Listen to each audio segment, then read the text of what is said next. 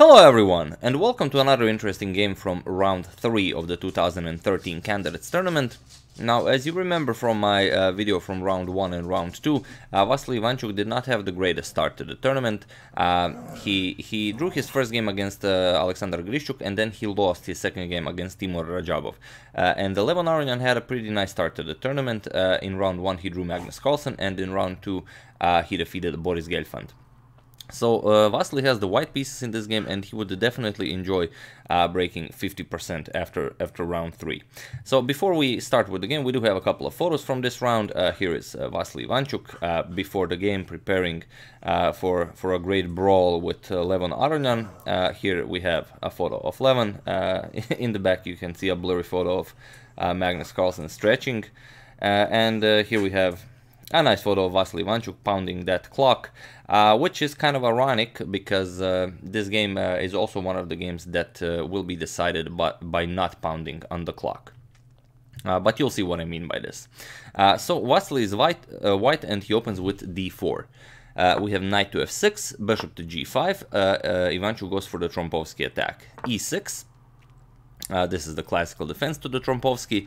Uh, knight to d2 and c5. We have e3, b6, uh, knight to f3, bishop to b7, c3, and bishop to e7. Uh, bishop to d3, uh, Aronian castles, and now bishop captures on f6. This is uh, only uh, one one of the examples where uh, Ivanchuk gives up his bishop pair early on in the game. Uh, bishop captures and now h4. So you can see that uh, it's it's only move 9 and Ivanchuk already gave up gave up his bishop pair and played uh, h4. Uh, we have knight to c6 and knight to g5, so going all out. Here, this is Vassily Ivanchuk going full barbarian mode. Uh, g6, you have to prevent the attack on h7. h6 uh, is, is somewhat... Uh, h6 isn't so great because white doesn't have to react to this. White can simply go queen to h5 and the, the attack continues for white. You don't really have to uh, uh, get, uh, get move the knight, black can never really capture the knight. Then you will open open up the h file, and now white is just winning. So after this knight to g5, g6 by Aronian. we have f4, uh, knight to e7, and now queen to g4. So Vassily is putting all of his pieces to the king side. Uh, h5, uh, queen to h3, and now c captures on d4. e captures on d4, and now b5. Seems like a seems like a weird move, uh, but Aronian has some uh, very interesting ideas about uh, about what happens when queen comes to b6. And this queen to b6 move will be a crucial idea in, in most of the variations in this game. Uh, capturing the pawn doesn't give white anything. Um, Aronian will simply attack it and bring his queen uh, to b6 even even sooner. So uh, Ivanchuk is not interested. He plays a3. Uh, we have queen to b6 and now rook to g1. Here Ivanchuk is uh, ready to push g4 and break open on the king side. Uh, this would be excellent, but Aronian doesn't allow it. Knight to d5. And this was the idea of, uh, of, of this b5 move and playing queen to b6. Uh, now you can't push g4 immediately. If you push g4 immediately, then Aronian's idea was bishop captures on d4. Uh, now, of course, the rook on g1 is attacked, and after you play c captures, queen captures, uh, the problem is uh, your rook is still attacked on g1 after something like queenside castle. Uh, you could also maybe play rook to f1 to guard f4, but then h captures on g4 will be very nice for black. Uh, but after queenside castle, now you get knight captures on f4, attacking the queen and the bishop on d3, uh, and pretty much anything you do here will be will be extremely good for black. Uh, let's say knight b3, you attack the black queen, uh, but now check king b1 and now you can either choose either maybe you want to just capture the queen and then capture the rook uh, or you want to capture the rook on g1 and then capture the queen but the best move is queen to d5 simply move your queen out of danger and attack the knight on b3 and after white does the same queen g3 now you simply capture the knight and the problem is uh, white can never capture the knight on f4 if white captures then you get bishop to d5 uh, and there is no defense against queen to a2 So uh, this will be excellent for black.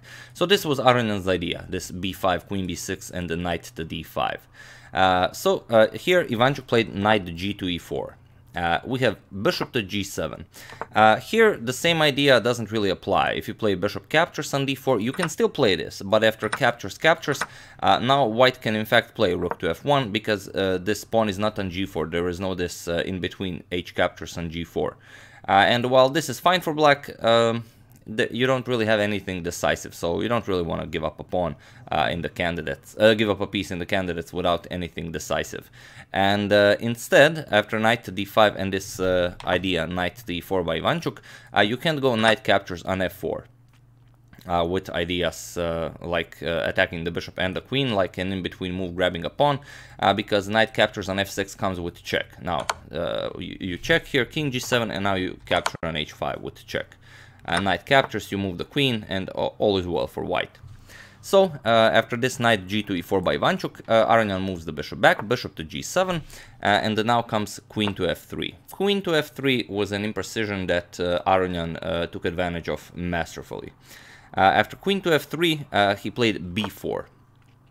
What's the idea behind b4? Well, first of all, you're you're breaking open on the queen side.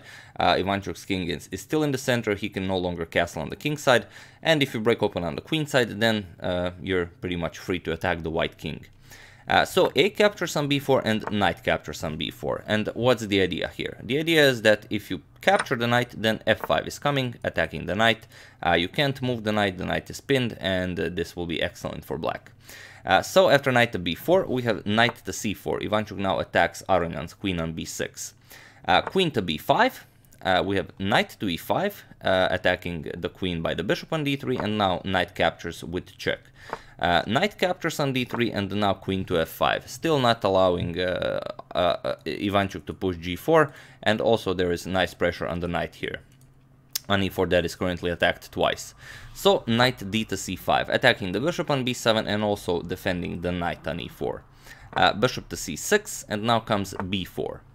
Uh, we have rook to b8 and now rook to a5 by uh, Ivanchuk. And here, uh, this is only move 25, but uh, as we've said in the previous video, uh, in round 3 everyone was in serious time trouble. So Ivanchuk was also in serious time trouble here uh, in, uh, in move 25 and Aronian didn't want to waste a lot of time here. He wanted Ivanchuk to play fast using his own time. And here uh, Aronian said that he knew that bishop captures on d4 was probably winning and uh, he was in fact right. But he, he didn't play this uh, because he didn't want to spend too much time calculating it and then maybe if it turns out it wasn't winning then Ivanchuk would also figure out something. but in fact after bishop captures, pawn captures, rook captures, the white king is still in the center, um, you're, you're threatening to grab the d4 pawn, uh, you're threatening rook b1, uh, you can double rooks and uh, re really cause chaos here. For example, if white decides to do something like king f2, uh, then you simply check him. And after the king runs away, now comes the bishop captures, queen captures, and here you have to run away with the king to h2 and now queen h4 will be checkmate.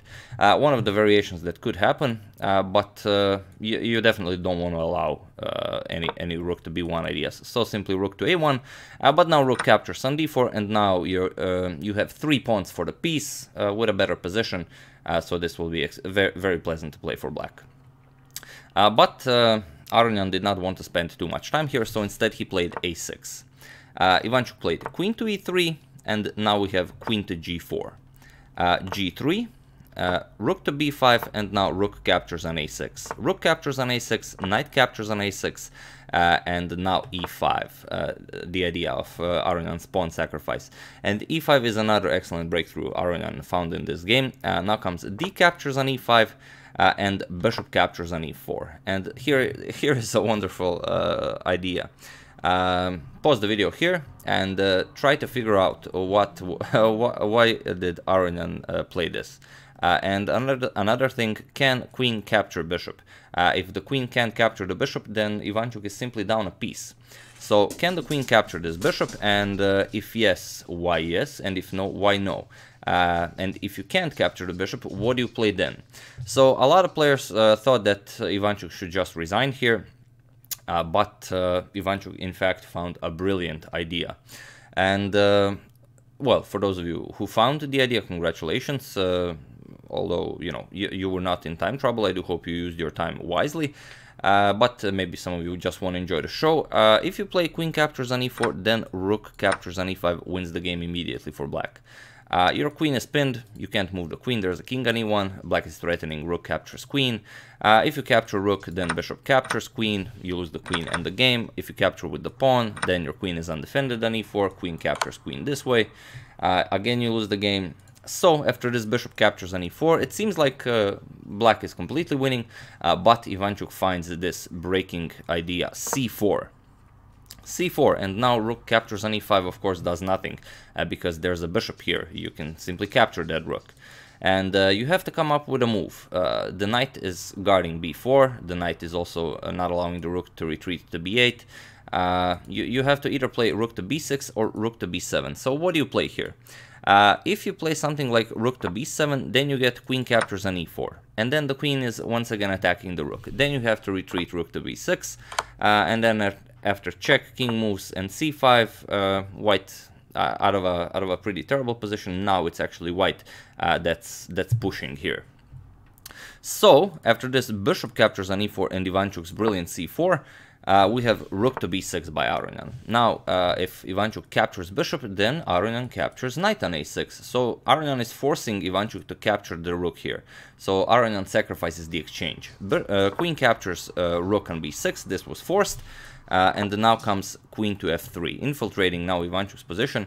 Uh, ideas like bishop to d3 followed by queen to e2 checkmate uh, are, you know, in the air, so you do have to react to this. Uh, queen to f2 was played, and now queen to a3. Uh, knight to c5. Uh, we have queen captures on b4 with check, grabbing a pawn, and like we've said, uh, Ivanchuk was in serious time trouble, and here he has to find a move. This is only move uh, 35 uh, he has to make move 35 and he still has to make uh, 35 and all the way to 40 so six moves. Uh, uh, so five moves to reach time control. And here he played king to d2 but after he played king to d2 he hit the clock and he realized that his time has once again run out.